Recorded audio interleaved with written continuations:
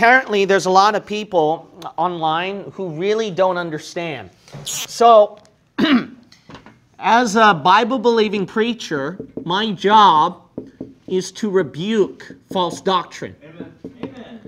So, a Bible believing preacher, he is to make sure that when there is heresy or false doctrine out there, that he is supposed to show to people what's wrong with this. So he's supposed to show it's wrong. It is wrong right here. But a lot of people, what they assume is that when a Bible believing preacher exposes false doctrine, they think what he's doing is that in the mind of people, they're like confused. They think that this is just trying to cause fights.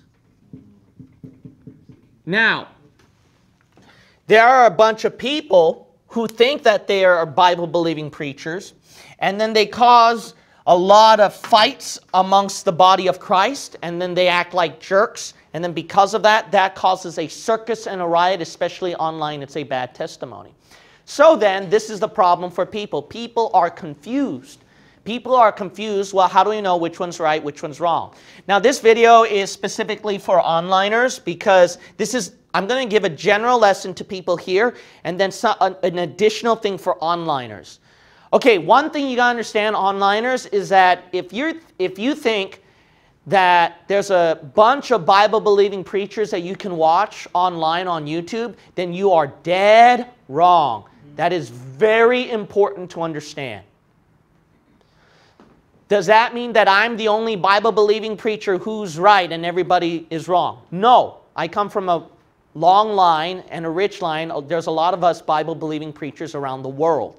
But you got to understand this is that, so let me give a little bit of a, I've been in online and I've seen a lot of this thing for a while. So I'm going to explain the difference right here and then a little bit of online history, okay? So this is quite a unique lesson that I'm going to give. So the idea here is that with online, Bible believing pastors, you got to understand this. So it's a little bit of a fresh review. Modernism, when it was rising that time, there was a lot of heresy going around in churches. The churches were falling into apostasy that time. So then uh, let me just draw some churches here. That way it doesn't get confusing for some people. So these are little churches, okay?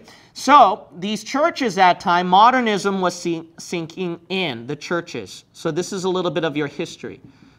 Now, during this time, there was a group who conquered or tried to fight against this group. These are called the fundamentalists. Christian fundamentalists, these started to try to fight against the modernism those days. So there was this conflict that time. So we know that during this time that the Christian fundamentalists were the right group of people. Now, the Christian fundamentalists during this time period, what you're going to find out, they consist mostly of independent fundamental Baptist church. Independent fundamental Baptist, otherwise known as the IFB.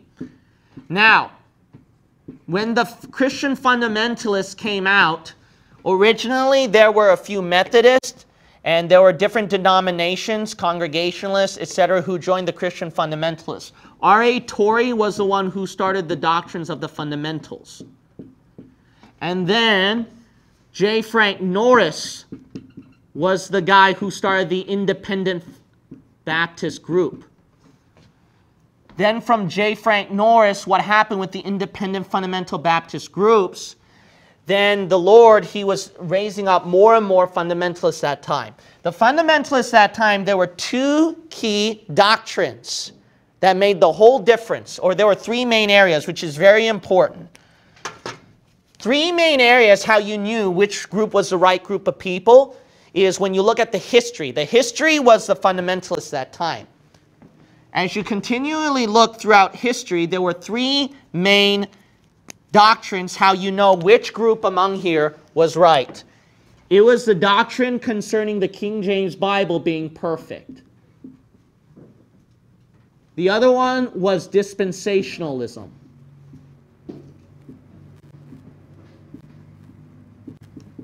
The third point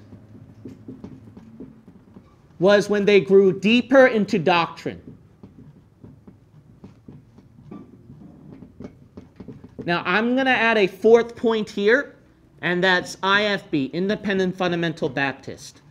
These are the four clear distinctions how you knew you were in the right group. I am giving a historical standpoint and then the scriptural standpoint. Okay, what's the scriptural standpoint? So, what I would advise is to watch my playlist. I have a playlist called Defending the KJV and then another playlist called Dispensationalism. I would advise for you to watch those two playlists and then you'll realize why the King James Bible only issue as well as dispensationalism is right. Now, deep doctrine, the problem with the IFB churches is they were afraid to study more into doctrine. Whereas the problem is the charismatics, as well as the Calvinists, as well as the some other people out there. Mostly, though, I noticed these are people who were non denominational or charismatic groups. They were the ones who were not afraid to get more into deep doctrine. So then, what's famous online, for example, is like the conspiracy stuff, right? This kind of stuff is not something strange to us Bible believing preachers because we weren't afraid to go deep into doctrine. So we studied the conspiracy stuff out there. But not only that, all kinds of stuff in the Bible that were very deep that time. So we studied about the mark of the beast. We also weren't afraid to study some other things like blue blood aliens. You might go, what is that? Uh, what kind of fruit that Adam and Eve ate in the garden. We also studied uh, more concerning about the interesting concerning the tribes of Israel. And then we also studied some things concerning uh, UFOs in the Bible, and then uh, the frozen deeps and then also the pyramid shape of the universe, and then blah, blah, blah. So uh, this path of the second advent, Armageddon, blah, blah, blah, all those are deep doctrines. So we weren't afraid to study those things. But another thing is that we have our history. This is so important. Our history is independent fundamental Baptist. So there's a thing which we believe. Look, if you study more on the Bible, then what's going to happen? Then you're going to grow more in knowledge, right? So, thus, there's a thing, we have a history. This is our history. But we believe through this history that there is a progressive revelation. It's not all going to be the same. As you study more and more in the book, your knowledge of the Bible will grow more and more. So, progressive revelation. What is progressive revelation? As God reveals more and more things in the Bible, you're going to study more and more, and you're going to find more truths in that book. So if you have this history, this source, this crowd, at the same time, though, you study more and more in the book, these are the four main areas how you know you're in the right crowd. So a lot of people would say, well, how do you know which crowd is right? And then I would point these four out to them. But then a lot of people don't know what kind of churches they are. So the simple so we've given you our resources link. In our resources link, we list all the Bible believing churches in there and then you can fellowship with these people. So they believe like we do. Now the thing is this though is that uh, our resources site is temporarily down for now. So i'm sorry i can't give you those churches for now. But the idea is is that if you look through this then you know which group that you're in the right group. Now that's concerning online. Unfortunately our concerning as a church a bible believing local church i'm not talking about individuals okay? Yeah. A lot of individuals can run big channels. And what's very surprising is that a lot of those individuals who know about these four issues, you know what they're going to borrow it from? They borrowed it from our crowd, you got to understand. So then, we call ourselves Bible believers. That's what we're called, Bible believers. But you'll notice that there are anti KJV people, there are also Calvinists, there are also Calvin, uh, charismatics who call themselves Bible believers. There's also a group who come from the independent fundamental Baptist, but then they go rogue. And because they go rogue, they deny dispensationalism. they, they hate deep doctrines and call it crazy and weird. So then they go into anti dispensational mode. So you got to watch out for these guys too. So those guys who call themselves New Independent Fundamental Baptist or New IFB, they are a cultic fringe. They are not part of this group. Amen. But us Bible believing preachers, we are from this line. This is our history. We just added more things and studied more things.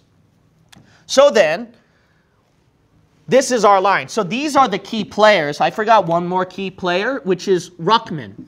So Ruckman, he also came from this line. He was approved by the Independent Fundamental Baptist Church.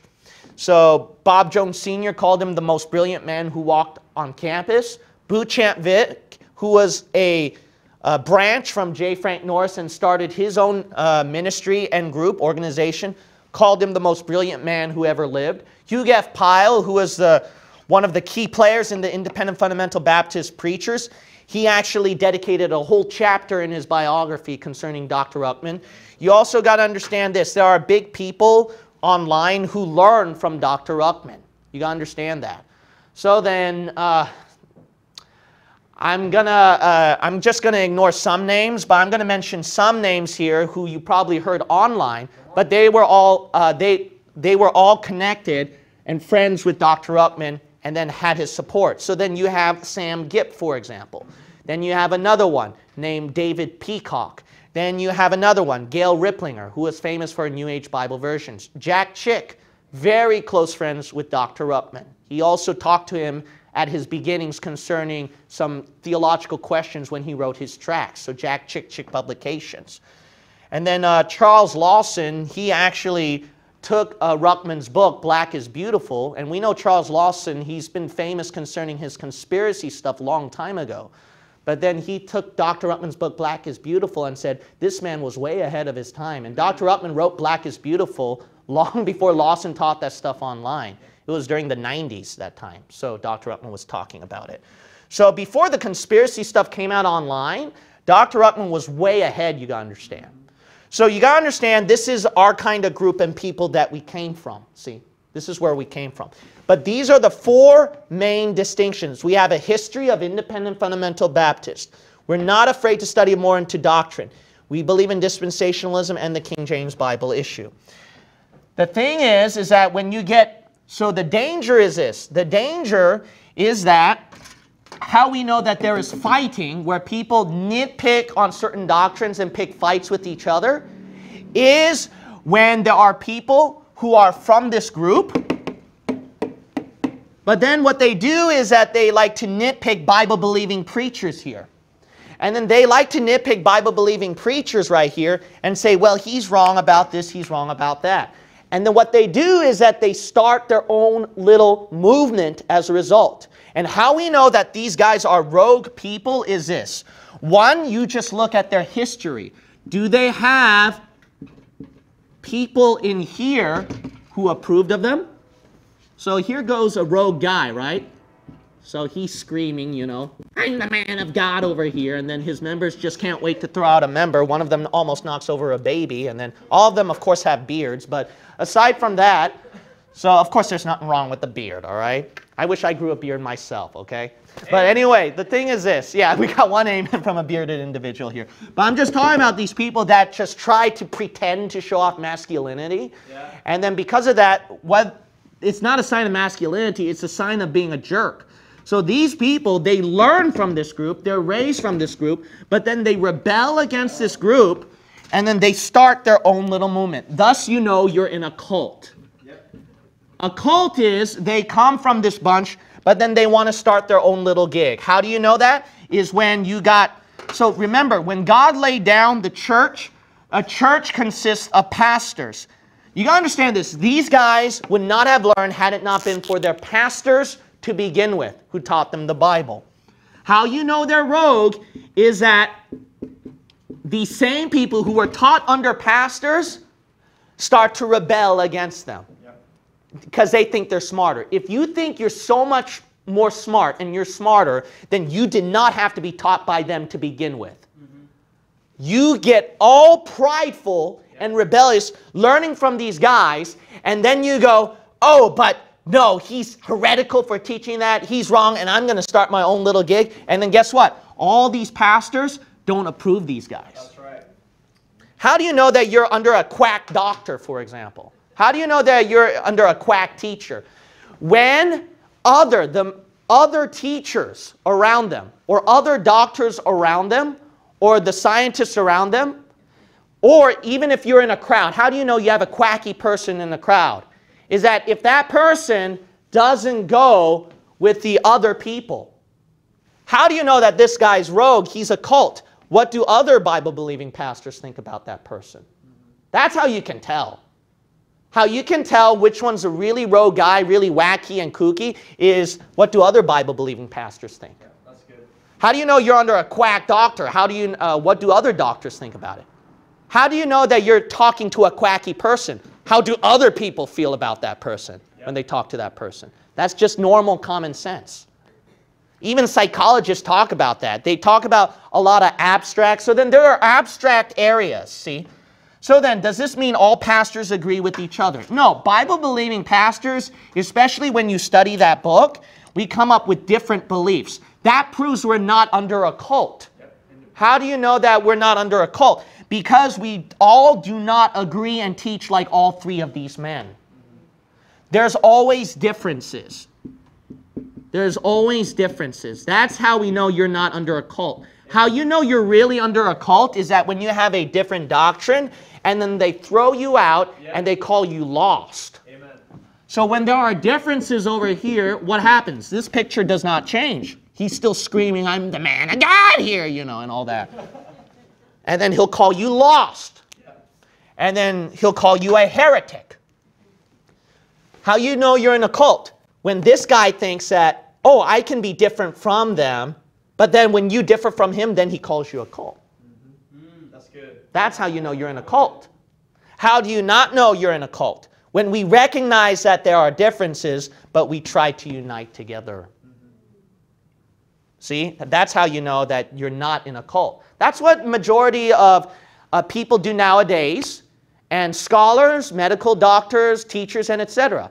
Do all teachers and scholars and people, even regular people, do they all agree with each other? No, we all have differences. But how you know that, uh, that they're sane and that they're okay and how we function as a society is that what do we do? We try to get along with each other. We set aside the differences. We're independent. We're not under a cult because we know that we have the freedom to think and believe for ourselves. But we know that we're not some blind slave under a cult because while we recognize differences, we also try to maintain the unity. So we know that we're not some kooky re- rebel rogue either. A kooky rebel rogue is, well, you know, you should respect my differences, you know. I'm not under a cult pastor, so I'm going to differ from them. But when you differ from him, then he's going to say, you're a cult. See, you know what that is? That's so much egotism and pride. Yep. That's how you know you're in the right. How do I know that I'm in the right? You criticize all kind of pastors out there. Simple. Find these four areas. They're not from these four areas. That's why I know that. So I point them out with hesitation to heresy. It's no doubt. Am I different from all these men? Definitely. And by the way, how many videos do you think I have online? You don't think you're going to you think everyone's going to agree with me with 2,000 plus videos that I put online? You crazy, man.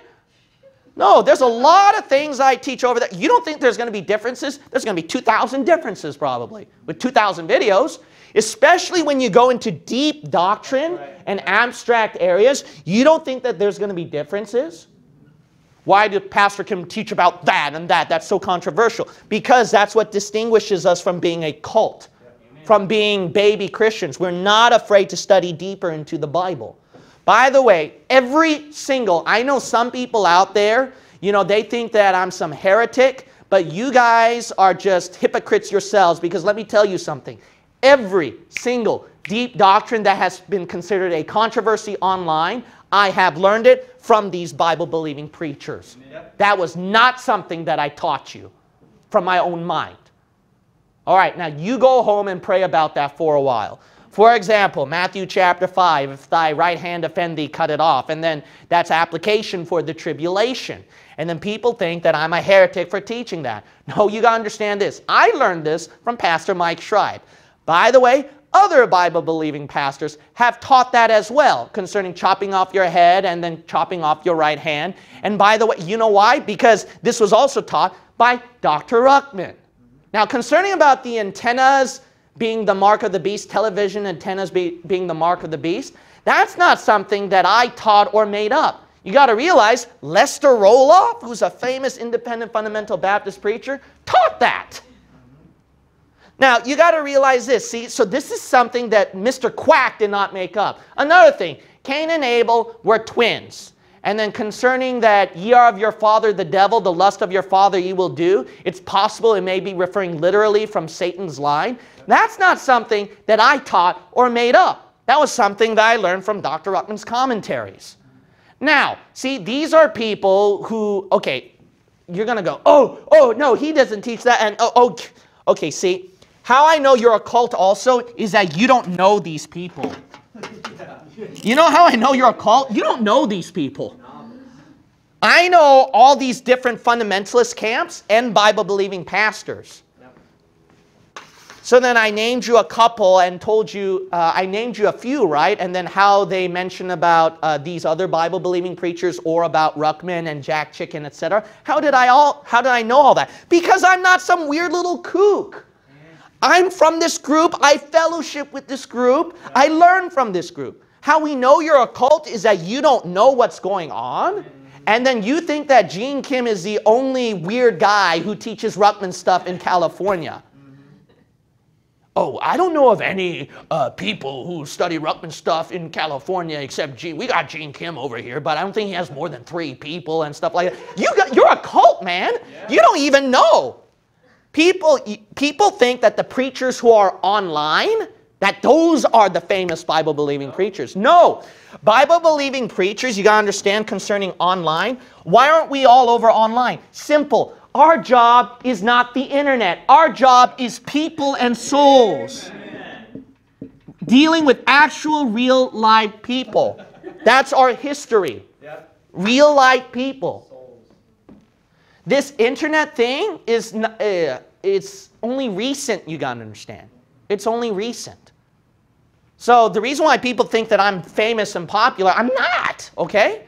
I'm just one of the, I'm just one of the smallest Bible believing preachers to you got to understand. Yeah. Smallest Bible believing churches. I have a bunch of other small small time uh, Bible believing preachers and they're the ones who encourage me and I encourage them. But uh, you think I'm famous because I'm online. If you, if you judge famous big time preachers by online, you don't know. That's right. See, that's, then you're, you're in your own little world probably. And maybe that's why you come your own little cult and you start your own little channel. And then you pick fights with each other. No, you got to pick the right fights. See? Is fighting wrong? No, Christians should fight. That's what the Bible said. But there are Christians who fight amongst each other and act like jerks, and then it looks like a carnival circus. So there's a thing called right fighting. You got to pick your right fights. How do you know that? You got to know who your right team is. You know what these guys are? They aren't teams. They want to make their own team. If how do you know the guy's in a cult when he makes up his own team? How these people like to cover their tracks as being a cult is that, oh no, I got other Bible believing pastors who yeah. believe like I do. I got other channels who believe like I do. No, you know who they are? Those guys aren't Bible believing pastors who submitted under older pastors before them. You gotta understand this. We come not from a kooky, weird little cult thing. It has always been the bot. How do you know you're in the right kind of church? That's what church is a called out assembly. And a church is run by Bible believing pastors before you. Yep. So that's how you know you're in the right team. How do I know that we're in a kooky cult and I'm picking unnecessary fights amongst the body of Christ? Very simple. How you know that is that if you go outside of this, and then where you find differences with each other, then you pick a fight. But this group, when they find differences, they still maintain the unity. We've maintained the unity of our differences, but we know that the people who don't believe in these We get on them. That's how we know that we're the Bible believing preacher who exposes false doctrine. What's sad is that nearly every street preaching YouTube channel out there is heresy. Yep. Nearly every, uh, so that's why those guys, Ray Comfort, Todd Friel from Wretched, Jeff Durbin from Apologia Studios, those guys who do actual soul winning witnessing that you watch online, they're all lordship, salvation, heresy. So that's why we know that they're all wrong. Why is those street preaching channels wrong? It's because they teach lordship, salvation, heresy, where they emphasize so, so much on a repentance of sin that you have to give up this sin and this sin and this sin, then you're really saved.